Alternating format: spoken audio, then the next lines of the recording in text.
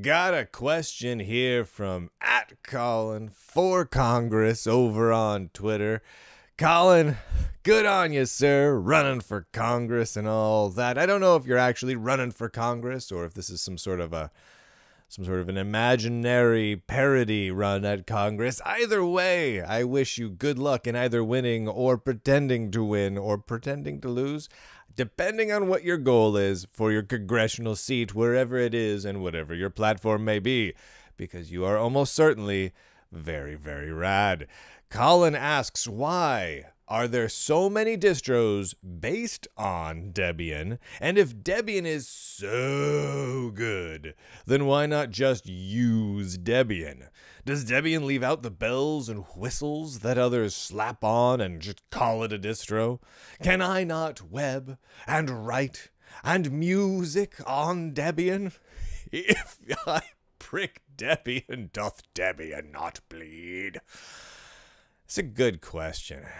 It's a very, very good question because the reality is Debian is an amazing distribution of Linux all by itself, just pure plain vanilla Debian. But man, there are so many distros based on Debian. It's it's crazy because you think about like those those core rock bedrock distributions, you know, that so many end up getting based on.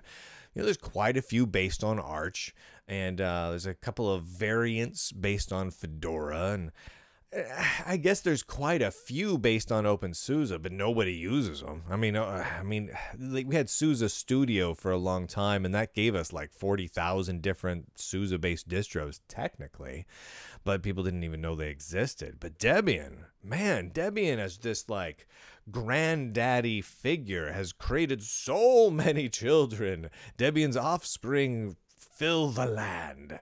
It is amazing. Here, let's look actually let's just do an exercise here. I thought about doing this just right before I started, so I don't know how this is going to work out. But if you go to distrowatch.com and let's let's scroll down and look at the quote unquote top 10 distributions over the over the last 6 months. I mean, a good number are Debian because we got number 6 is just straight up Debian. Number 5 is Elementary, which is based on Ubuntu. which is based on Debian. Number four is Ubuntu, which is based on Debian. Mint, and oh, oh my heavens! And you scroll down even further, and it just goes on and on. And sure, there's quite a few that are that are really unique distributions, really created off out of their own. And there's some that are kind of Slackware derived, and there's quite a few Arch derived ones, and there are a couple of of Red Hat slash Fedora at some point derived distributions. And yes, I know Red Hat Enterprise Linux built on top of, top of Fedora. I'm talking olden days here. I'm talking olden days here before the naming changes happened. But yeah, why? Why not just Debian? And I think I think the the reality is what answers that is when you look at what Debian is and what Debian is truly amazing at. It is a stellar bedrock. It is a foundation upon which you can build so much. And they did such a good job, in my mind, of of making something that's great to build upon. It is in and in and of itself, all by itself, a fantastic distribution for you know desktops and servers and blah blah blah. It's fantastic right out of the gate, but but it was it's so flexible it's very stable when you want it and unstable when you want that too. And it's been consistent. It's been easy for the downstream projects like Ubuntu to say, I'm going to base myself on Debian because not only, you know, uh, is there some sort of momentum within the packaging formats and, and all that sort of thing, but, and I like where they are, but they've been consistent. And that consistency makes it so much easier to build something on top of right? I, I mean, that is absolutely fantastic for for things like Ubuntu and Elementary and Mint. I mean, they really they they succeed in part because of the great foundation they chose to use. And, and I think Debian is a great great in that regard. Now, that's not to say that, like, for instance, uh, OpenSUSE or Fedora um, or Arch or many other uh, distributions that are kind of more bedrocky aren't fantastic as well. I mean, I obviously have a, a, big soft spot in my heart for OpenSUSE, even though I don't use it anymore. Uh, I used to be on the, the board for that one. Uh, and I mean, there's they're great distributions. Fedora, the current the current release of Fedora is incredible. If you haven't tried it out, honestly, it's worth spinning up in in just a VM. Go to the Fedora Project's website. It's it's worth checking out. And again, yeah, I'm, I don't think I'm using Fedora anywhere currently. Like, I don't think I even have a dual boot setup at this moment, but I would consider it. It's really, really good. And it's a great foundation to build upon.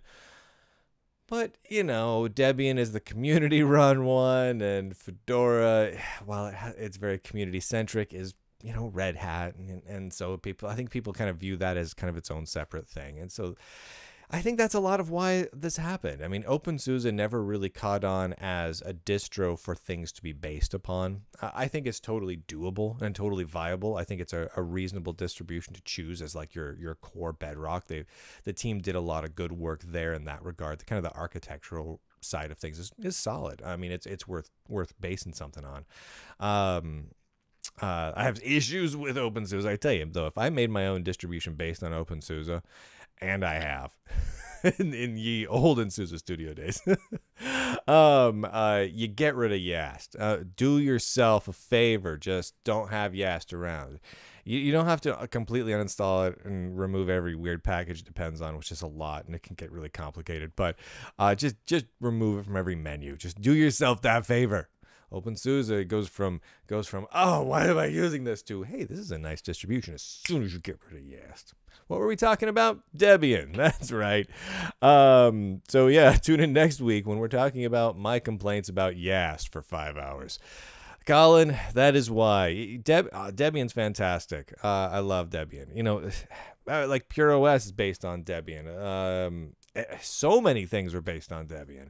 And the things that aren't based on Debian are based on Ubuntu, which is based on Debian. I mean, that's just kind of how things roll around here lately. that said, what is fascinating if you if you watch the trends, um, and I, I kind of almost wish I had this a slide up for this or something, but uh, if you watch the trends, Linux distributions tend to not stay the king for more than about five years.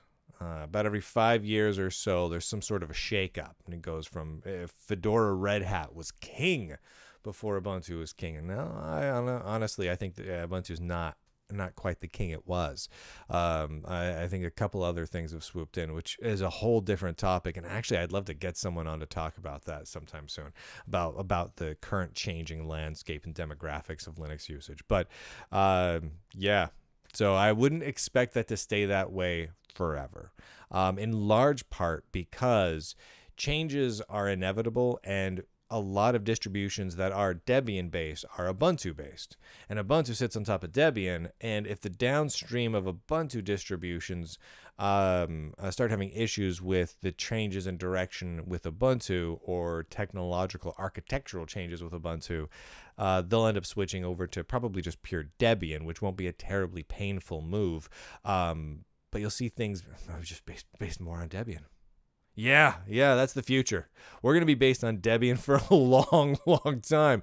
As I'm sitting here thinking about it, I'm like, I want to make the case for, you know, it moves a lot, but it, the King Linux distribution, as in terms of, of user usage, does shift a lot. But I don't know. I, I for the for quite some time, I don't see a landscape where the dominant 10 Linux distributions where at least half of them, if not more, are based on Debian in some way.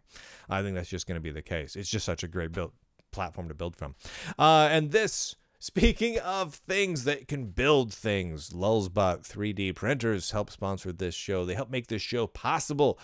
I'm the voice of their phone tree. So if you need a 3D printer, that's actually happening a lot lately. Uh, there's, there's, there's, four companies now where if you call them, I talk to you over the phone.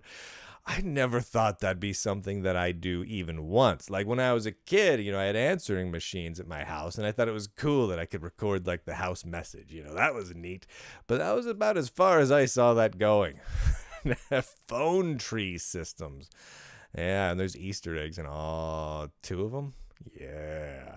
Anyway, Lulzbot 3D printers are awesome. They're the best 3D printers in the land. When you gaze out the horizon and you think, hmm, I could 3D print some things and put them out there on that said horizon, you want to do it with a Lulzbot printer. Uh, go check them out. They love open source. They love open source hardware and they love free software. Lulzbot.com.